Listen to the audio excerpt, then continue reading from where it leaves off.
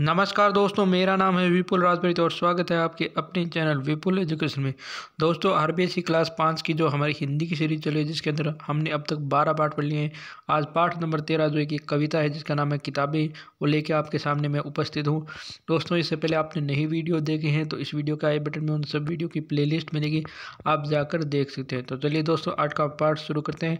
और दोस्तों, पाठ पढ़ने से पहले आपसे रिक्वेस्ट है कि अभी तक आपने अपने चैनल विपुल एजुकेशन सब्सक्राइब नहीं किया तो चैनल सब्सक्राइब सब्सक्राइब कर लो बेल आइकन दबा दो देखिए, किताबें करती हैं बातें बातें ज़माने की, दुनिया की, इंसानों की, आज की, कल की एक एक पल की। यानी किताबें जो है, बातें करती है, यानी बताती है, बीते ज़माने की दुनिया की, यानी हमें प्राचीन इतिहास से ऐतिहासिक बातें बताती है। इंसान के आज की, यानी वर्तमान में क्या रहा है, ये भी बताती है, और कल की, यानी भविष्य में क्या हो सकता है, ये भी बातें हमें कौन बताती है? किताबें।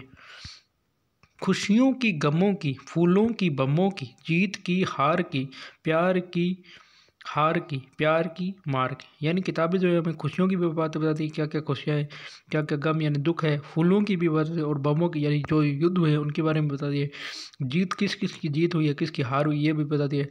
प्यार किसने किया और किसकी हार हुई, ये भी बताती है और प्यार किसने किया और मार किसने खाई, ये भी बताती है।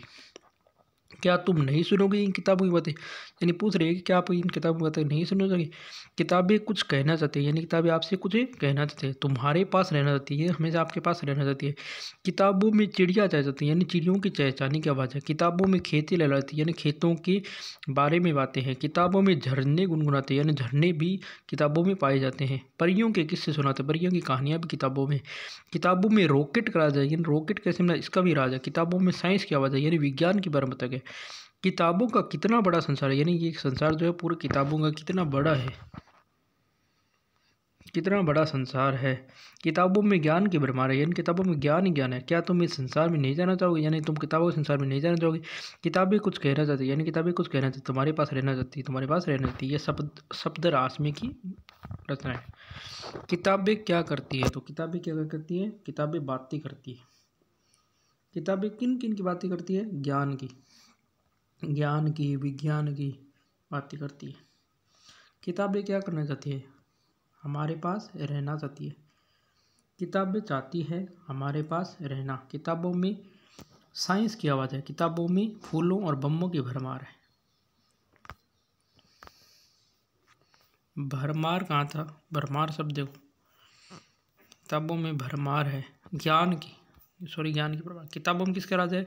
रॉकेट का राज है। किताबों से तुम्हें किन किन बातें जानने को मिलती है? हमें तो आज की, कल की और आने वाले कल की ज्ञान की सब की जानकारी मिलती है। किताबें जमाने की इंसानों की बातें कैसे करती है? यानी वो उसके बारे में बताती है कि प्राचीन काल में क्या हुआ था, वर्तमान में क्या हो रहा है, इस प्रकार से। यदि किताबें नहीं होती तो क्या होता तो हमें ज्ञान की प्राप्ति नहीं होती। तो दोस्तों, ये था आज का पाठ। उम्मीद करता हूँ आपको पाठ पसंद आएगा और दोस्तों, ये था आज का वीडियो। अगर आपको ये वीडियो पसंद आई तो वीडियो को लाइक करना, चैनल को सब्सक्राइब करके बेल आइकन दबाना मिले कमेंट ज़रूर करें। धन्यवाद दोस्तों, जय हिंद, जय